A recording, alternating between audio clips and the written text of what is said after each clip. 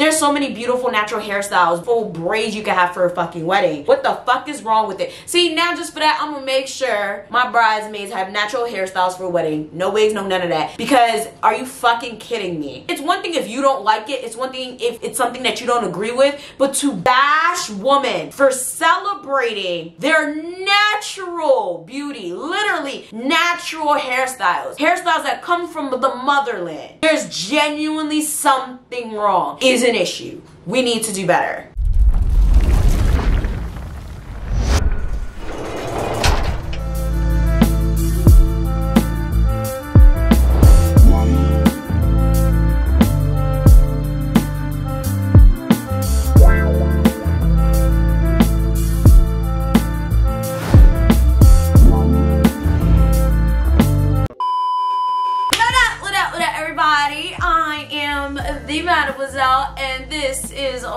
Channel and today we're going to be talking about natural hair and how far we've come but not really but yes we have but then again I still see some things that are just very very concerning to me. So of course if you are part of the natural hair gang comment down below what you got loose natural hair, you got locks, you got sister locks, you got freeform locks, just let me know. I'd love to hear it. And of course, even if you don't have natural hair, just let me know what kind of hair you have, no matter what race, ethnicity you are. I would love to hear your journey with your hair because I feel like a lot of people, especially if you are a woman, it is very, very important the hair that you have, the hair that you end up shaping into as you get older. Hair is very, very important to all of us. Even though I'm the type of person where like I feel like hair grows back, it's not that serious. I've always tried to kind of like disconnect myself from my hair, but it has been something that's affected me a lot throughout my entire life. From the time that I was a child, I feel like I've always remembered having really pretty hair. I've always really, really liked my hair, but I remember as I began growing and becoming into like my preteen and teenage years, I began feeling pressured, right? Like I've always wanted wanted to have straight hair because everybody else had straight hair. I never necessarily hated my curls or hated having kinky hair, even though I didn't like the fact that I literally had to sit down for hours to get these complicated styles done or get pulled on the stove with the damn hot comb or anything like that. I just honestly wanted to fit in. That was always my thing. I maintained this story forever on my channel. If you guys want to watch any of my natural hair videos, they're still on my channel. As you guys can see, I'm locked now. July, I believe 13th or 12th, somewhere around that time, will make it two years since I've been locked. A lot of people don't believe me. A lot of people think I have extensions, but no, my hair is all natural. This is all my hair. Nothing, I ain't done nothing crazy to my hair whatsoever. All I do is put Haitian castor oil in my hair and that's about it and leave my hair alone. I do not moisturize my hair regularly at all. I literally get it styled at least once a month. Um, I wash my hair at least once to two times a month and that's about it. Probably moisturize my hair once to two times a month as well. And it has grown exponentially, okay? This was my hair when it first started, when I first got my locks, and now my hair is like literally down to my back. And this is my hair right now currently, and like I said, I'm going on two years.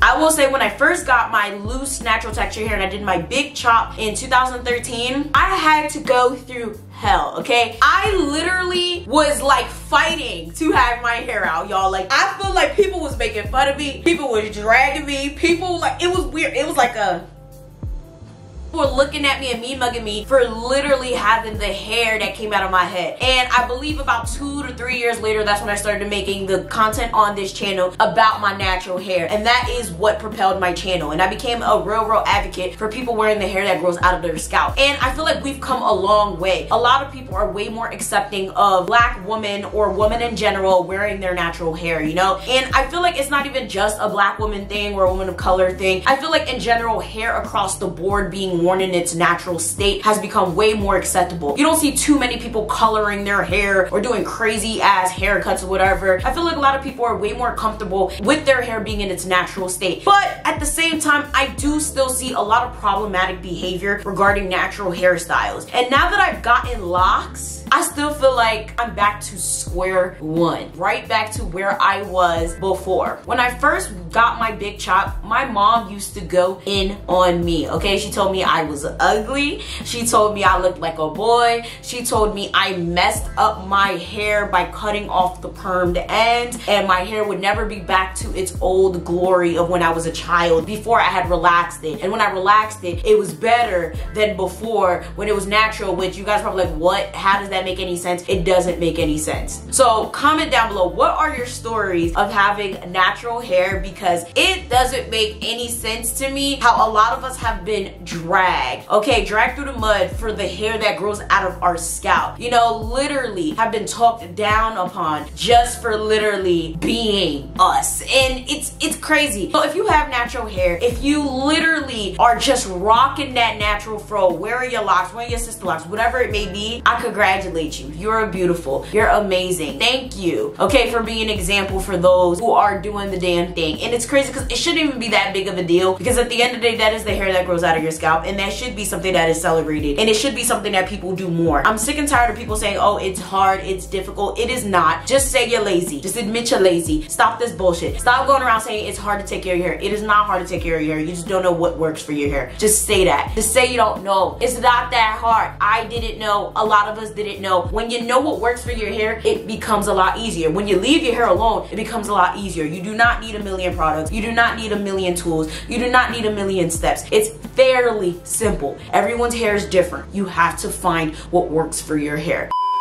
Before we get on with the rest of the video, thanks to my special sponsor, me. You guys always ask me, what do I do? How can I support you more? What's going on? Make sure you guys head to the description box and peep everything that I have going on in life, okay? I just made a Patreon so you guys can support me. You guys have been asking me to make a Patreon for so long. The cheapest tier is about $3. Most expensive tier is $15. You guys have access to so many different things such as early access to videos, exclusive exclusive life updates. And if you guys really love my Thee Mafia Speak sessions, those did not end. They're actually on my third channel, which is my personal channel. There's vlogs, story times. I talk about my life trauma on there. And you guys will have access on the highest tier to call into my Thee Mafia Speak session. It's going on every week. I change the dates depending, so make sure you guys are following me on Instagram and you guys are gonna know when that is happening, okay? So if you guys sign up for the most expensive tier, you can call into the show. If you guys are not already, make sure you guys go follow Media Hustle Hustle. Media Hustle is my business, okay? It is my business where you guys can sign up for a consultation with me and you guys can also start your YouTube channels or your business and get some type of business advice for your Instagram and or your YouTube channel or any other social media that you guys may need help with. You guys can also join the free Facebook group where you can join like-minded individuals who are also trying to start businesses and or start up their YouTube channels. Of course, go get your merchandise. Follow my Haitian channel if you haven't. Of course, my third channel that I just mentioned. And thank you guys so very much for voting for me for the Haiti Open. I am in the top five, which means I earned a spot in the magazine. And if you guys do sign up for the Patreon, you get to see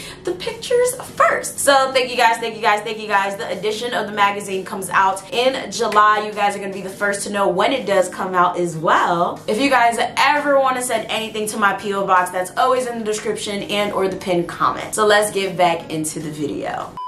When it comes to the stigma around natural hair, I feel like it's been a stigma since they seen black people. I feel like it's always been a problem. I don't think it's ever gonna stop. I don't think the stigmas around natural hair is ever gonna stop really. I feel like it's definitely become a lot better. It's ridiculous that I'm sitting here having to like curse people out about my locks, y'all. I've literally had so much praise for having my natural hair out. I will say men approach me a lot differently when I have my natural hair out as opposed to when I would wear wigs um, or braids or something like that. I will say when I have locks, completely different as well. Men approach me completely differently. I, am in a whole relationship now, but men of course still approach me. Um, so it's like, I will say it's completely different. I get a whole lot of different type of respect, but I get a whole lot of different disrespect. I have some people that will come up to me like, oh, aren't you educated? Don't you have a bachelor's and a master's? Why do you have locks? Locks are associated with low lives, especially in the Caribbean and the Haitian culture. They're like, oh, that's for people who do drugs. That's for people people who are in gangs. Why do you have locks in your hair? Why would you do that? And that's something that me and my man especially are looking to disseminate. That's why he's always kept his locks. He's in a very like high position in his job now. Um, he works for, you know, a government type of job and he makes it a point to keep his locks because he's like, what y'all not about to do is make it seem like I'm dumb or I'm uneducated because I have locks. And I'm the same way because it's like, y'all not about to make it seem like just because people have locks, just because they maintain their natural hair or they wear their hair in a certain way, that means that they're bad people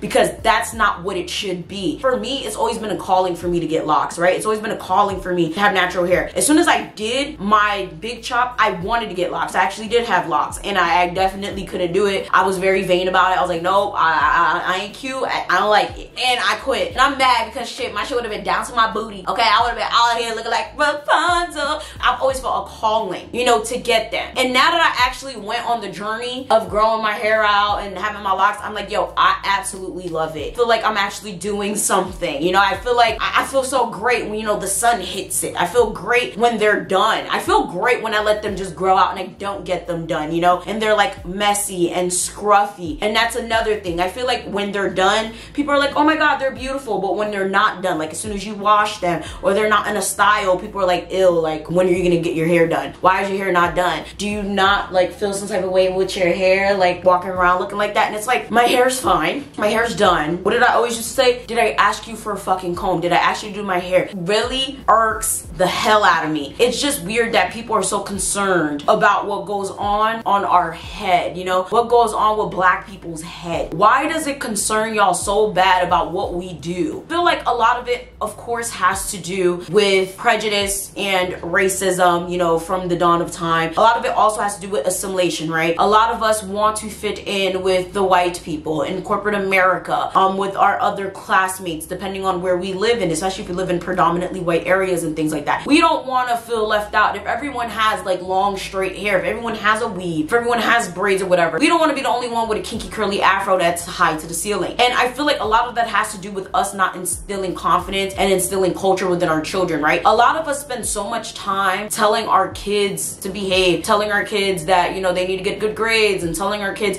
not to worry about anything else, but you need to understand our kids do worry about getting good grades and stuff, but our kids also do worry about fitting in, right? They're worried about their clothes, they're worried about their shoes, they're worried about their hair, they're worried about, you know, all these other things. And we need to tell them like, hey, listen, you live in a town where you're probably the only black girl. You know, if you're gonna raise your kids in these places where they're only gonna be the only black kid, which I would never do, I'm sorry, I would never raise my kid anywhere where they're the only black kid, the only Hispanic kid, the only Chinese kid. It's just a recipe for fucking disaster. Whatever, I don't know what your circumstances are, that's you. But if you're gonna do that, you have to educate them. You have to tell them certain things. You have to basically somewhat try to negate the problems that they're going to come through. And I feel like that's the problem number one. When you're raising them in these types of environments, it's going to be an issue because they're going to be made fun of. And when they're getting made fun of, they're gonna resort to, yeah, um, this hair is not okay. This texture is not okay. This culture is not okay. And it leads down a road of self-hate. The next one, of course, has to be that even if they do love themselves, right? Even if they do love their hair and they're they're one of a kind and they, they flex their shit all the time, other people are probably gonna try to tear them down. Because a lot of people don't like the fact that some of us are very comfortable in our skin. And they're like, um, no, you little nigger happy bugaboo. Your shit is not okay. Um, no, you are not thebombdiggity.com. Like your hair is shit. You're dirty. You're disgusting. I feel like this has happened to a lot of people that I know, especially me in particular. I've always been a very confident child. Like I said, I never walked around necessarily without confidence, but throughout life, I've had times where I felt really high and, and really great. And people have like shit on me and it's made me second guess myself. And I know there's a lot of you watching this who have felt the same, where you've had a lot of confidence instilled in you. You never felt any type of way, but then people just went and like shitted all over your happiness, shitted all over your confidence, and now you feel horrible. Is this the hair I should have? Okay, maybe I should go get my hair straightened like the white girls. Maybe I should go, you know, do this. Maybe I should go do that. Maybe, you know, and that's a problem. You know, that that's a real, real problem. Like, you need to be very, very careful. All of you girls and guys out there watching this video, be careful when you're sitting here saying things to people. You may think, oh, you're just cracking a joke. You may think, oh, well, I'm not bullying. That is bullying, okay? When you're making really slick and sly comments and making a little joke here and there, you're probably destroying your friend's confidence. That's not being being a friend at all. Oh my god, jobs and opportunities, okay? When it comes to high school, college, we all have those times where, you know, a lot of us may think, wow, you know, I want to get a job. Those people that are getting these jobs and opportunities may not look like you. A lot of us have this whole habit of comparing ourselves, right? A lot of us go into job interviews and of course we're competing with people that don't look like us, that don't have the same qualifications as us. And as we get older, it gets even worse. When we get to corporate America, when we get to these startups, when you get to different types of job opportunities, there's not many black people. There's not many black women. There's not many women at all. Then we start to tweak ourselves, right? We're like, ooh, hair, maybe I should put on a wig for this interview. Maybe I should do this. Maybe I should do that. One thing I could say I've never done, if there wasn't a weave in my hair, I'm not gonna put on no damn weave for no interview. If there wasn't braids in my hair, I'm not gonna put on no damn braids for no interview. If there was like, I was never. And I don't think I've ever not gotten a job because of my hair because any job interview I went to, for the most part, I got the job. If I didn't, I was given a reason as to why not. And I got the job later on when whatever or whoever they picked was given the job and fucking failed. Okay? So like, I don't think my afro ever stopped me from getting a damn job. It's ridiculous. So it's just very weird how like a lot of us have been conditioned, you know, from childhood, from our moms, our aunts, our grandmas, that our hair is not enough. And then after that, we go to school, we try to get jobs, we go out into society, and our hair is still not enough. Then, oh my God, don't even get me started on dating, okay? And this goes for whether we are in heterosexual or homosexual shit, polyamorous type of relationships. Now we have the people we're dating, people we're romantically involved with telling us our hair is no good. I will never forget when I first did my big chop, there was this guy that I used to talk to, and he went out of his motherfucking way. I was literally not talking to him for like a good year or two. And he was like, oh, I see you have new hair now. Yeah, your permed hair was better. I'm sorry. If you don't get your uncircumcised, dirty dick head ass out my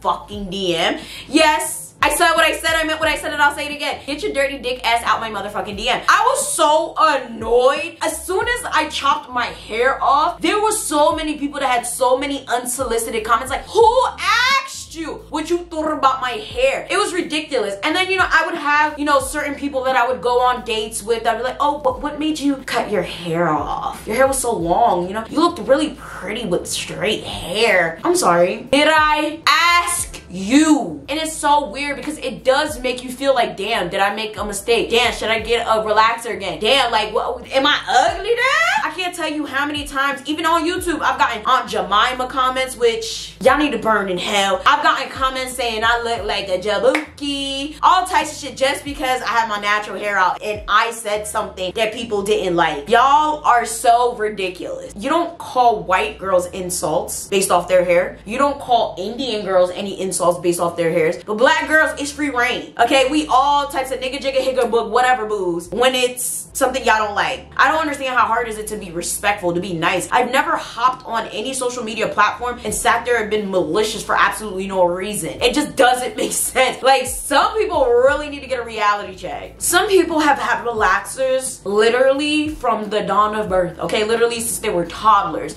since they were old enough to get it. Some people have just had like other types of hairstyles hairstyles such as braids since they were toddlers. And honestly, I feel like culturally that's not necessarily big of a deal. Some people feel like that's too grown, you know, like babies, they call them, which I mean, yeah, you're kind of a baby for your toddler. Sorry if, yeah, I mean, feel like, you know, that's too much, that's too heavy for a child's hair. And in a lot of cases it can be because children's heads don't fully close for a long time. So you're sitting there, you're putting all that tension on a child's hair. It causes a lot of damage. So it's crazy because I know a lot of people that said you like, yo, they don't know what their natural hair texture is because they've been getting relaxers for so long. And it's not until they get a big chop in their 20s that's when they know what their natural hair texture is. Do you understand how unfortunate and ridiculous that sounds? Like, I, I just be sitting there like, mind blown, confused, because we need to do better. That That's not normal. Like, there's so many things about being black or being a black woman that other people cannot relate to. They really can't. And th these conversations, like, I know when other races of people come into these conversations, they click on these videos, they, they just like, what? Like,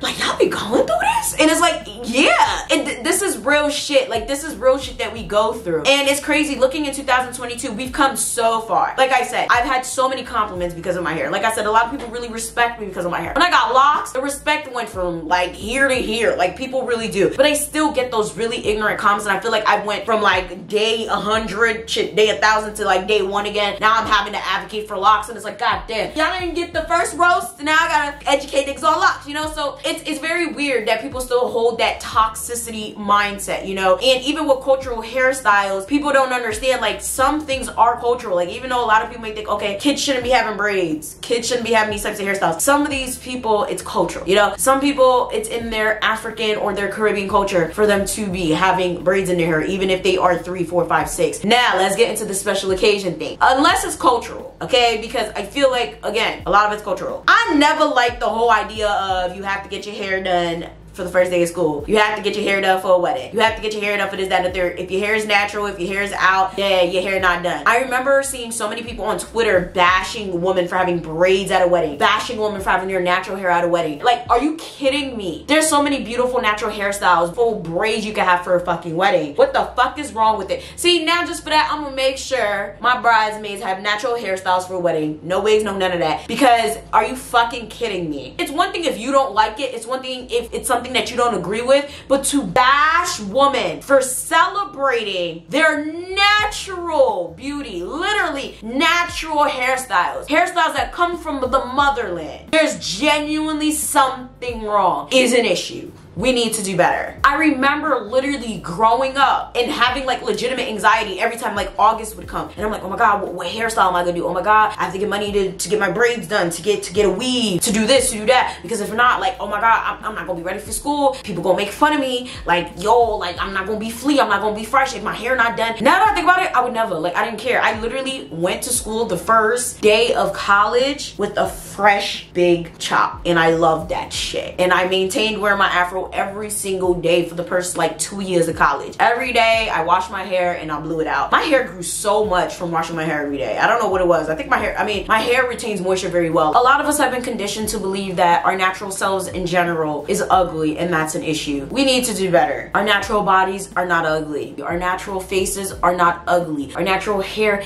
is not ugly. There's nothing wrong with you. Stop listening to society. Stop listening to these ancient people. Cut their asses off. If something on social media is making you feel uncomfortable, unfollow it, block it, whatever you have to do. It is genuinely disheartening that in 2022, there's so many people out there that still believe that they are not enough. You know, that they have to like assimilate so much that they don't even recognize themselves anymore. Um, the blatant racism, the texturism, the prejudice, especially from us to us is, is very scary. Like I thought that as time changed, it would get better. And I feel like it definitely has, but like I still get so many emails and so many stories um, from my Thee Mafia Speak session of people like telling me shit to really, really extreme degrees of things that they're going through with these types of issues. And I'm like, how? Like, is that weird? Like, I don't. It, it's just weird. Like, I really thought that, okay, you know, maybe, you know, things are getting a lot less you know, bad. You know, just like how a lot of people think that racism is not that bad anymore, but it's still apparent. Police brutality isn't happening anymore, but like it's still apparent. Racism, texturism, prejudice, all types of these things, they're still happening. They're just happening in a different way. We're still being discriminated against. We're still being plagued in a way that is just not as noticeable. Please make sure if you have young black children or young children of color in your lives, you're uplifting them. No, you're telling them that they're enough. You're telling them that they're beautiful. You're telling them like, hey, you don't need to change yourself. You you don't need to be like everyone else. If you're different, that's okay. Please. It's very, very important because it's crazy how depressed a lot of these kids are. It's crazy how depressed a lot of these adults are. It's crazy how a lot of adults are raising kids and they don't feel like they're enough for their own kids. And unconsciously, they are deflecting and putting all their weight of insecurities and sadness and depression onto their children. So even if you're just someone who's friends with a mom or whatever case baby, uplift the moms, uplift the dads, uplift the aunties, the uncles, just uplift people around you because it's very, very important. Because understand, this next generation, they're gonna be taking care of us. Okay, they're gonna be the nurses, the doctors, the lawyers, all that. This is very important. It's important for the human ecosystem, okay? Even though we're talking about hair, understand all of this shit feeds into each other. It feeds into the self-esteem, it feeds into the mental health, it feeds into all of it, okay? With that being said, please take care of yourself. Please understand that you are enough and there's absolutely nothing wrong with you. Make sure you guys peep the description box for everything that I mentioned in this video. I love you guys so very much. I don't get to tell you guys that enough. Like, share, subscribe,